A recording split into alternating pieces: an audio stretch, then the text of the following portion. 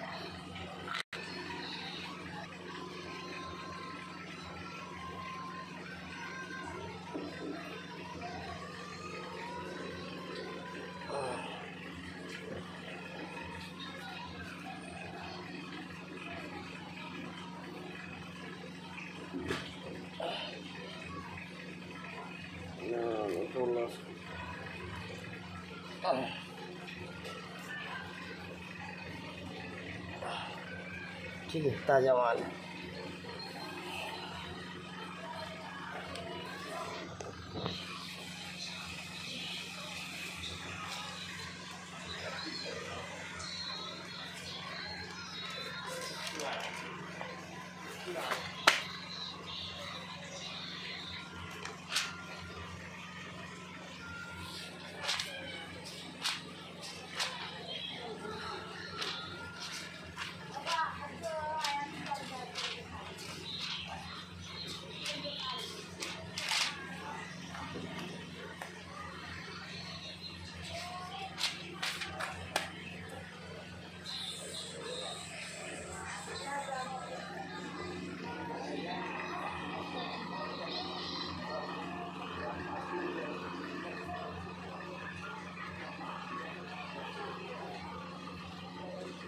Là lý.